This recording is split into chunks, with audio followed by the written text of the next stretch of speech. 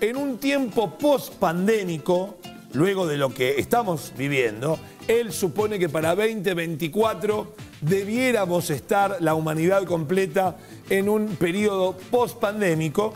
Dice que se suelen repetir conductas que van desde el sexo desenfrenado hasta el malgasto de dinero o el derroche económico. No nos vamos a ocupar de esto último, sino de la posibilidad de que haya alguna conducta que tenga que ver con el goce de la sexualidad más libertina. Estamos comunicados con Walter Guedín, él es sexólogo. Walter, muy buenas tardes, muy buenos días, perdón. ¿Cómo te va? Hola, ¿qué tal? ¿Qué tal? Buenos días, ¿cómo les va? Muy bien, Walter, muchísimas gracias por, por atendernos. Saludos a Claudito, ahí el cocinero. ¿Cómo estás, Walter? ¿Cómo estás? ¿Cómo estás? Muy claro que sí. Eh, Walter, a ver, en términos generales, cuando se habla de sexo desenfrenado, ¿cuáles son las características de ese sexo? Bueno, el, sexo desenfrenado se habla de, un sexo por ahí que aumenta, aumenta el deseo, aumenta además las posibilidades de estar con alguien con menos censura, con menos inhibiciones.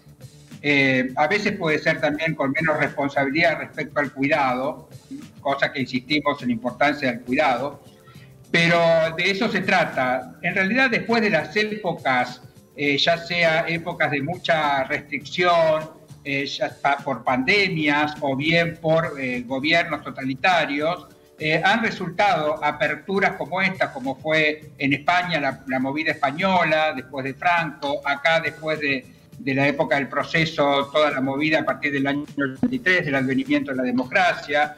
Respecto a las pandemias, después de la gripe española, apareció, bueno, toda la, en 1920, toda la movida, toda una apertura que tuvo que ver con, eh, con lo sexual y con un montón de conductas que rompieron con lo restrictivo que se venía viviendo. Después de guerras. Después de guerras, después de guerras también, ¿sí? Sí, sí. Entonces, esas situaciones traumáticas que implican, eh, bueno, emociones tristes, eh, pérdida de disfrute, ver un panorama desolador, pérdida de familiares, de personas queridas. Claro, ahora, Walter, por sexo, ¿vamos a definir solamente el contacto físico? Digo, puede ser que la sexualidad, que el sexo desenfrenado entre en que se escriba más de sexo, que se consuma más sexo, que a un plato de comida le pongan nombre de sexo.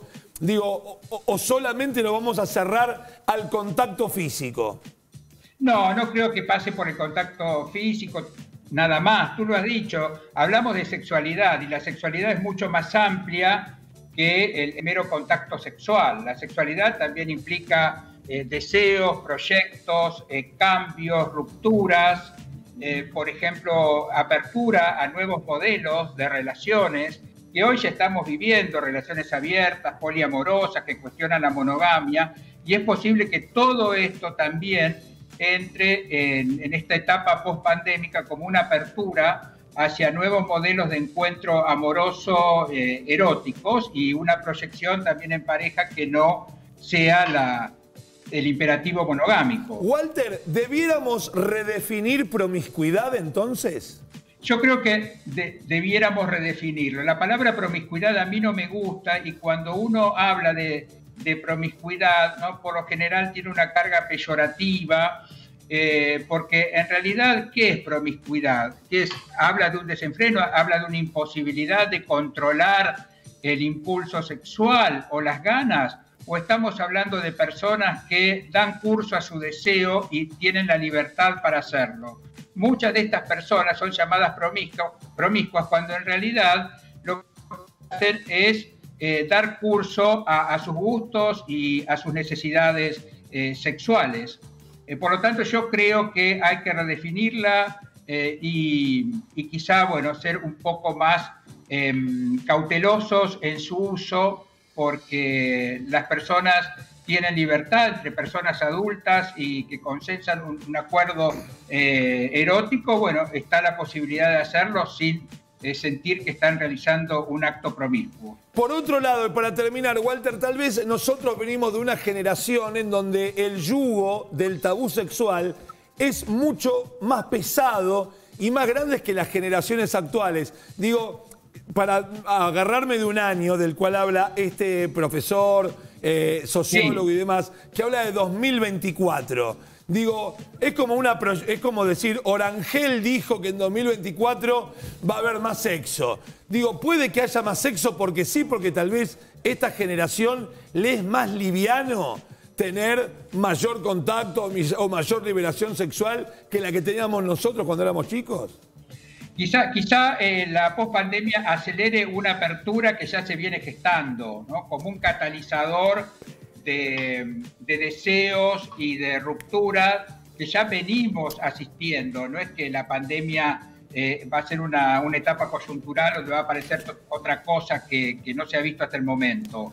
No, venimos eh, con cambios en la vida sexual y en los estereotipos sexuales que, bienvenido sea, tienden a, la apertura y yo creo que va a empujar eh, esta pospandemia a que eso tenga más visibilidad y más presencia en, las personas y más presencia en la sociedad y que ya se vaya eh, internalizando como, como nuevos modelos o nuevas dinámicas en las relaciones que competen a la diversidad sexual pero que competen y mucho a, la heterosexualidad, porque la heterosexualidad también está saliendo del closet. Yo hablo siempre de, que la heterosexualidad ha estado en el armario bajo la moralina de ciertas prácticas y, otras que se hacían en la marginalidad. Y hoy la heterosexualidad, esas prácticas marginales como el poliamor, las relaciones abiertas, la posibilidad de incorporar variantes en las relaciones sexuales, el uso de la pornografía. Bueno, todo eso la heterosexualidad se está animando a hacerlo y le está incorporando dentro de, su dinámica. Walter, te agradecemos enormemente que tengas un hermoso fin de semana. Gracias por todo. Muchas gracias. Esperemos llegar al 2024 con salud para disfrutar un poquito más. Abrazo enorme. Abrazo enorme. Claudio, bueno, ya tenemos.